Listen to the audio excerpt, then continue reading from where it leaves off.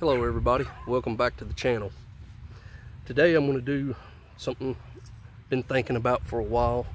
It's uh, got to do with the little Nite Ize figure 9 carabiners that I already done a review on. Uh, I talked about using them in that first video in regards to cooking with them, using them to hang cook pots and stuff like that.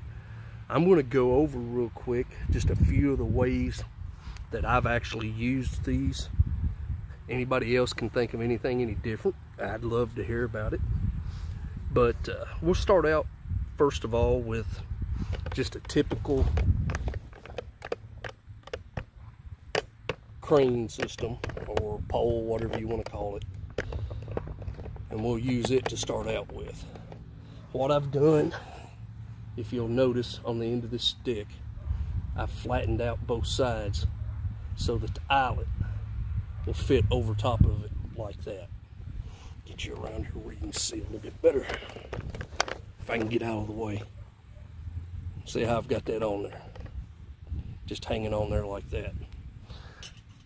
Then I've got a stainless steel mug with a hanger. It's got about 20 ounces of water in it.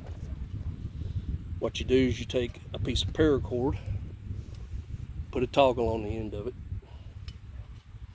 put the toggle through the hole at the top and then just hook the paracord ooh, in the end of it there.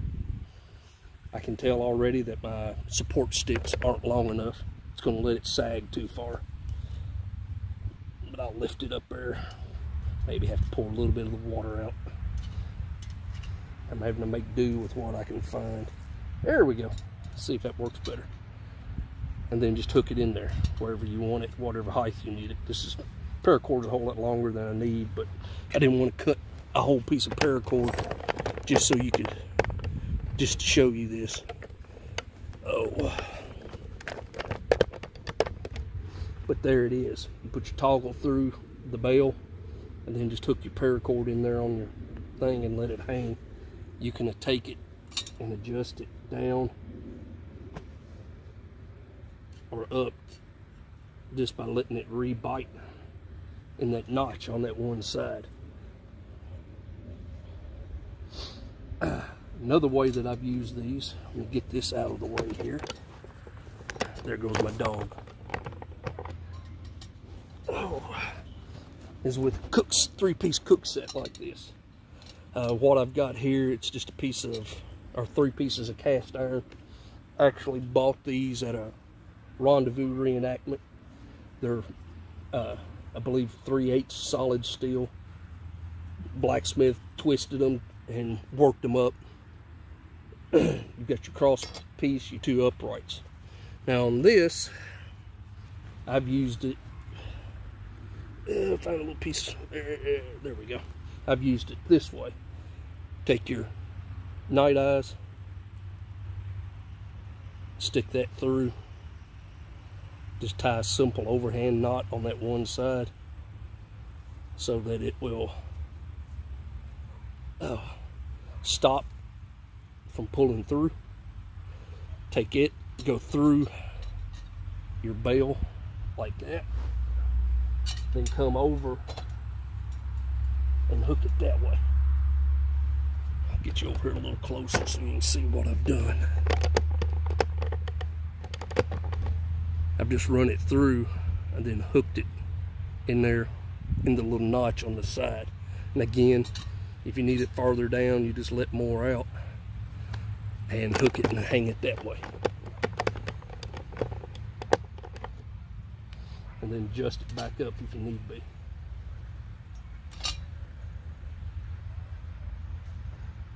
And do it like that. Now, another way that you can use these. I'm to switch over here to the tripod I've rigged up out of some old tent poles that I have here. There we go. With it, there's a couple of ways you can do this actually. Get a longer piece of cord here for this. One is just like I said, come through your Nite Ize like so overhand knot, pull it up tight. Hang it about where you need it and tie it off.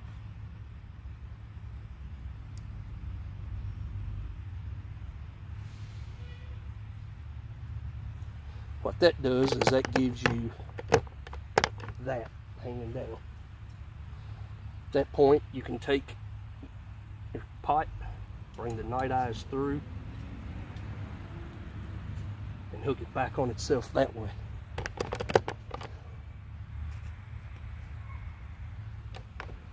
Bring you over a little closer so you can see what I've done there. I've just hooked it through just like that. And then, like I said, you can adjust it up or down however you need it. The other way you can do this is you can have your one line hanging down. This unhooked here and I'll show you like so. And then take your loop, come through and over and tighten that down so that you have your Nite Ize sorry about that just like that and then take this tag in through your bail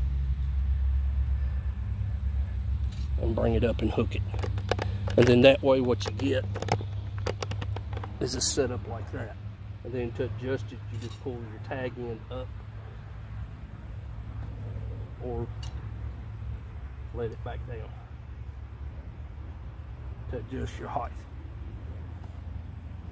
And then you can also do the loop method like I did with the three-piece cook set and just let it loop over the top up here. Get this untied real quick.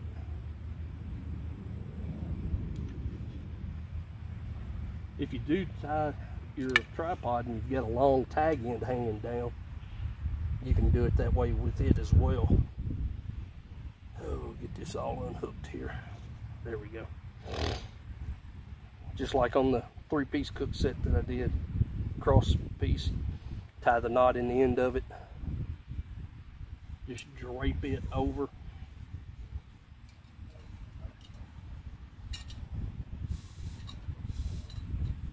And then hook it that way.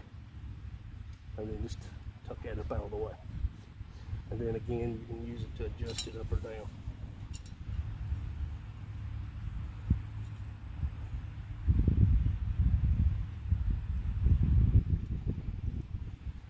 And do it like that. And I mentioned in the other one, and I can't do it very well with this bail because it's so big. But if you've got a billy pot that's got a small bail on it, you can actually use two of them. I'm gonna pour the water out of this and use it. You can actually use two of them. You can hook your bail in that hook. Another one here. Take you another one, come through it, and around. The key thing to notice on this one is I've actually got that upside down. I've got the hook inverted. And then hook it through there to adjust it. If you need to let it down, you can let it down. This piece here is adjustable. So if you want to move it down closer to the bail of your cook pot, you can move it down and then adjust it that way. And then just kind of tuck that up out of the way while you cook.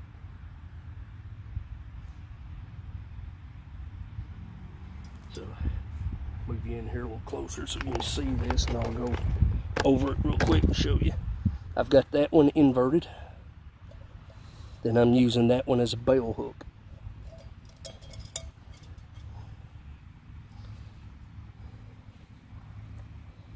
But if y'all can think of anything else, leave me a comment down below.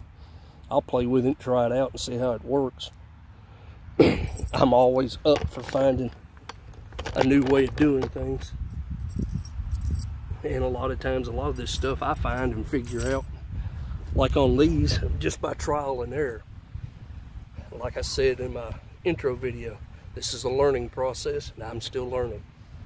Well, I hope y'all found this interesting. If you have any comments, let me know. Any suggestions on anything you'd like to see me try, let me know. I'm sorry I'm sweating. It's 90 degrees out here in the shade.